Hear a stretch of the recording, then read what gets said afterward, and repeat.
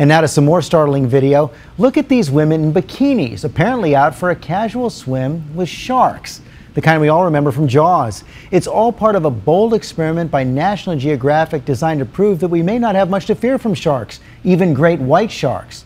The perfect story for our intrepid Nightline co anchor, Bill Weir.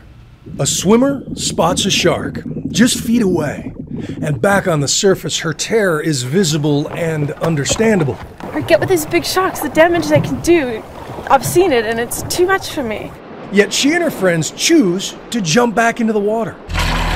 To bait them with the sight of pale flesh, the smell of blood and urine, even the flash of jewelry.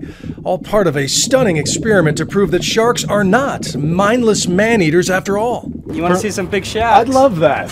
We got plenty of those out here. Let's go lose a toe or, or two.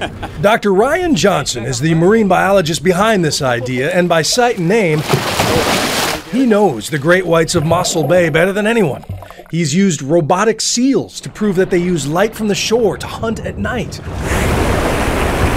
He's even had a shark accidentally jump into his boat. But he's also seen how these predators behave themselves less than a half mile from some of the most popular beaches in Africa.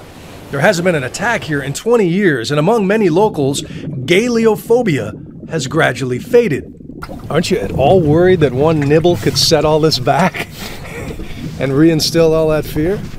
Yeah, that's something we, we live with all the time. A shark attack or shark bite is tragic for shark conservation. And so, Friday night, he will send his shark angels into the water on live television, betting their limbs and his reputation that the creature of our nightmares is simply misunderstood.